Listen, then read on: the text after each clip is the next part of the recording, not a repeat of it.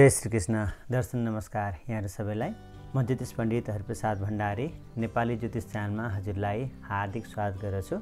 आज म विक्रम सम्बत दुई हजार एक्काइस सालको सम्पूर्ण वार्षिक भविष्यफल लिएर उपस्थित भएको छु। राशिको मुख्य राम्रो कुरा के रहनेछ मुख्य कमजोर पक्ष के रहनेछ र के गर्दा यो वर्षलाई अझ बढी राम्रो बनाउन सकिन्छ भन्ने बारेमा महत्त्वपूर्ण जानकारी म प्रस्तुत गर्नेछु।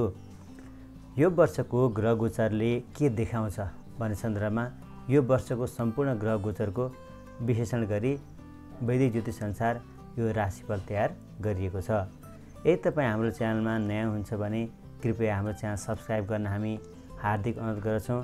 हामी नेपाली मौलिक कला धर्म संस्कृति ज्योतिष वास्तु अङ्क ज्योतिष लगायत महत्त्वपूर्ण विषयमा निरन्तर आवश्यक सामग्रीहरू प्रस्तुत गर्नेछौँ। अब लागौँ सिंह राशितर्फ पाँचौँ राशि। सिंह राशिका लागि यो वर्ष सकारात्मक नै रहने देखिन्छ। विशेष गरी सिंह राशिका लागि केतु गोचर दोस्रो स्थानमा शनि गोचर सप्तम स्थानमा राहुको गोचर अष्टम स्थानमा र बृहस्पति गोचर सिंह राशिका लागि दशम स्थानमा हुनेछ। दशम स्थानमा बृहस्पति गोचरले तपाईँको भाग्य राम्रो हुने विशेष गरी नोकरीता पेसामा निकै राम्रो प्रभाव रहनेछ। त्यस्तै गरी सप्तम भावमा शनि गोचरले पनि तपाईँलाई विदेश विदेशको यात्रामा लाने अथवा विदेश यात्रा सफल हुन सक्ने देखिन्छ। तपाईँको विदेश सम्बन्धी कामहरू बनेको छैन भने यो वर्ष विदेश यात्रा काम बन्नेछ। साथै कुनै नयाँ काम व्यापार व्यवसाय साझेदारीमा पनि सुरुवात हुन सक्नेछ। अलिकति कमजोर कुरा हेर्नुपर्दा केतु ग्रह दोस्रो स्थानमा बस्दा सञ्चित धनको नाश हुने अथवा धन सम्पत्ति जम्मा हुन गाह्रो हुने खालको अवस्था।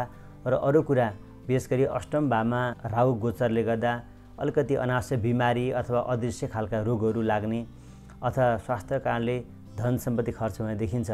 दुईवटा कुरा एउटा कुरा आर्थिक कुरामा र दोस्रो स्वास्थ्यमा यो वर्ष तपाईँलाई कमजोर रहन सक्ने देखिन्छ। राहु र केतु गोचरले गर्दा तर पनि राम्रो कुरा भनेको शनि ग्रहको राम्रो प्रभाव रहनेछ बृहस्पतिको राम्रो प्रभाव रहनेछ। यसले गर्दा अझै बढी यहाँलाई काम गर्न प्रगति गर्न साथ दिनेछ।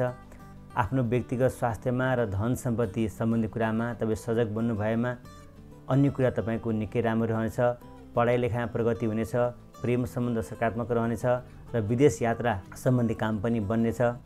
त्यस्तै गरेर बौद्धिक तथा सृजनात्मक काममा यो वर्ष निकै राम्रो ग्रहले साथ दिनेछ। शत्रुहरू केही बढे पनि तपाईँ इज्जत पेष्टामा आँच आउने खालका केही गतिविधि हुन सक्छन् सजग रहनुहोला।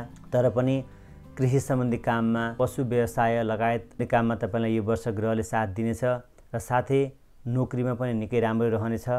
समग्रमा सिंह राशिका लागि यो वर्ष मिश्रित फलदायी रहने देखिएको छ।